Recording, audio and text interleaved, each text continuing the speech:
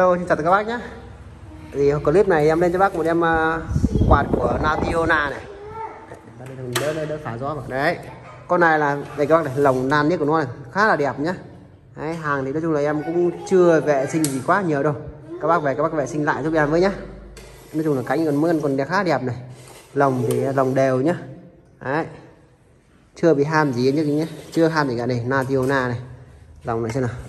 Thằng Nationa này thì nó rất đây các bác nhé là tiêu na là những cái cái cái tem của nó hơi bị mờ này. Máy ở của nó là F30 AIG nhé A1G các bác nhé con này thì đời của nó rơi vào khoảng tầm năm à, 77 76 gì đấy. Sang cánh 30 này. Con này, thì nó quắt thì nó rơi vào chắc khoảng tầm 4 47 à, quát quay đầu thì các bạn đây 48 quát tầm tầm đấy thôi không hơn đâu nhá, điện trăm v thì bác nào mà thích cấy điện lên 220 thì em sẽ cấy. Còn không thì các bác nào thích để nguyên bản thì em có để nguyên bản nhé đấy. Đây, hình thức của nó là mặt thì khá là đẹp này. Gió đây. Đấy. Bác các bác nghe này. Nghe khi mà em bật số tốt, tốt nhất đấy nhá.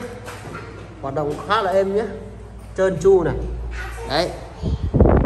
Cánh của đây. Đó. Khá là đẹp nhé số nhỏ này.